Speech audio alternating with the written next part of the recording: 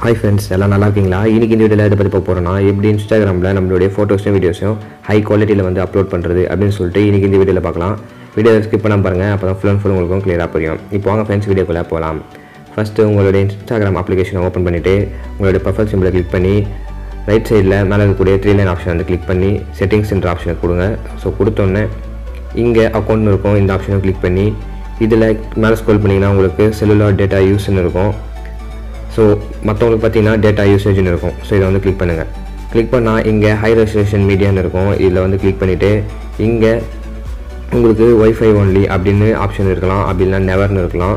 So அதை வந்து நீங்கள் வந்து செல்லுலார் ப்ளஸ் ஒய்ஃபைன்னு சொல்லிட்டு எனபிள் பண்ணுங்கள் ஸோ அப்போ தான் உங்களுடைய வீடியோஸ் வந்து ஹை ரெசல்யூஷனில் வந்து உங்களுக்கு அப்லோட் ஆகும்.